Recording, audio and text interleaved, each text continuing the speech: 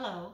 In the last video, we used the cards and counters to teach you about odd and even numbers. We learned that 1, 3, 5, 7, and 9 are odd numbers. We learned that 2, 4, 6, 8, and 10 are even numbers. Let's just put the odd numbers down here.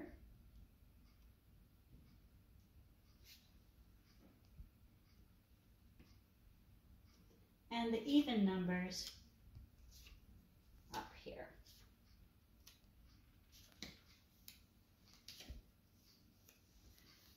Let's make a rule about odd and even numbers. If the numeral in the units place is 1, 3, 5, 7, or 9, the number is odd. If the numeral is a 2, 4, 6, 8, or 0, then the number will be even. Let's read the odd and even rule. The odd and even rule.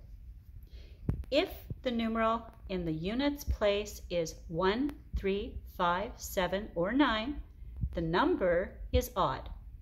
If the numeral in the units place is 2, 4, 6, 8, or 0, the number is even. Let's try a couple to see if you can help me figure this out. You know that that number is 11.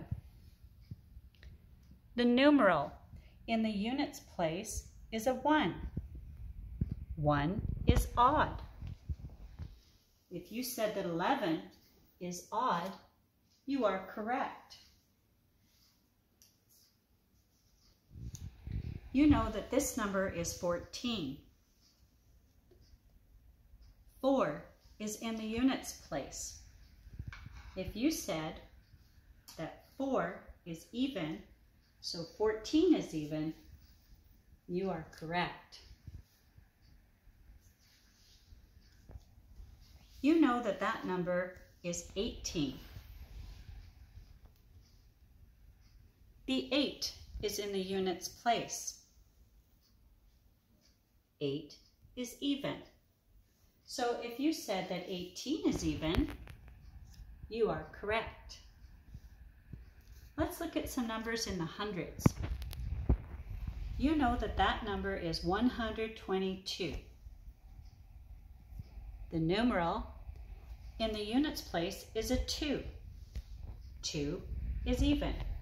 So if you said that 122 is even, you are correct. You know that this number is 547. The 7 is in the units place.